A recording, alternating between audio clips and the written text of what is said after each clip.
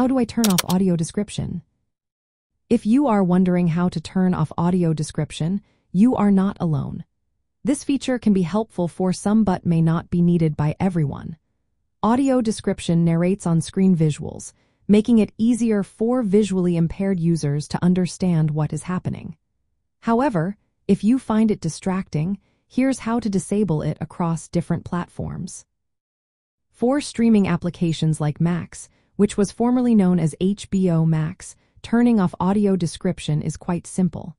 First, start playing your desired show or movie. Once the playback begins, tap the screen to bring up the playback controls. Look for an icon that resembles a speech bubble or is labeled audio and subtitles.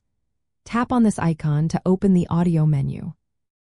From there, you can select a different audio track that does not include audio description such as the standard English audio track. If you are using an Android device, you can also manage audio description settings through your device's settings. This method generally applies to video content played directly on your device rather than within specific applications. To turn off audio description, go to your device's settings. From there, navigate to the accessibility section. Look for any options related to audio descriptions and toggle them off if you find them enabled. When using various applications, it is important to remember that audio description settings are usually managed within the app itself. As mentioned earlier, in streaming apps, you can turn off audio description during playback. If you are developing an application, consider including clear options for users to enable or disable audio descriptions based on their preferences.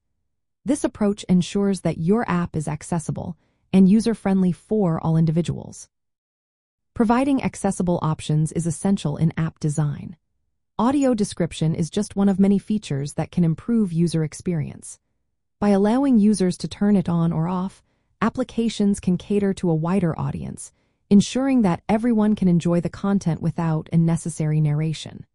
So, whether you are watching a movie or using an app, you don't know how to turn off audio description when you no longer need it.